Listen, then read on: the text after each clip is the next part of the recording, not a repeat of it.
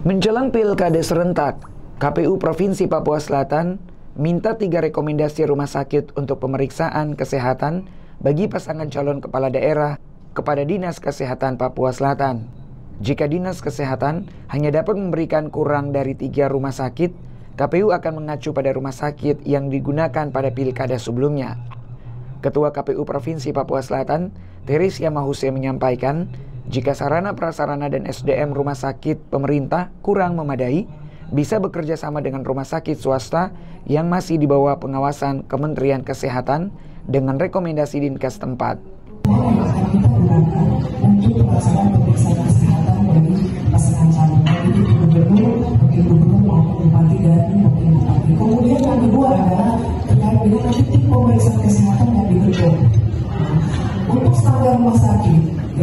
Standar rumah sakit juga uh, kita harus melihat juga sarana prasarana atau fasilitas lain yang layanan yang uh, ada pada rumah sakit pemerintah. Karena dalam hal ini itu diminta adalah pemeriksaan kesehatan bagi paslon ini dilakukan di rumah sakit uh, pemerintah.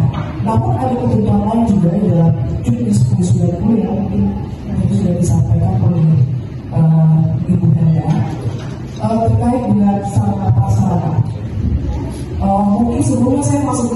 setelah uh, adanya Juni 1090 ini yang harus ditindaklanjuti baik itu oleh KPU provinsi maupun kabupaten adalah menyampaikan atau meminta tiga rekomendasi rumah sakit ya.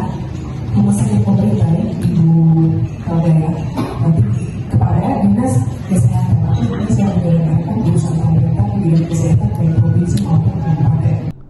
Pemeriksaan kesehatan bagi paslon akan berlangsung selama tujuh hari, mulai dari 27 Agustus hingga 2 September 2024. KPU juga akan membentuk tim khusus bagi pemeriksaan narkoba sejumlah lima orang dengan tiga kategori, yaitu pecandu narkoba, penyalahgunaan narkoba, dan korban penyalahgunaan narkoba.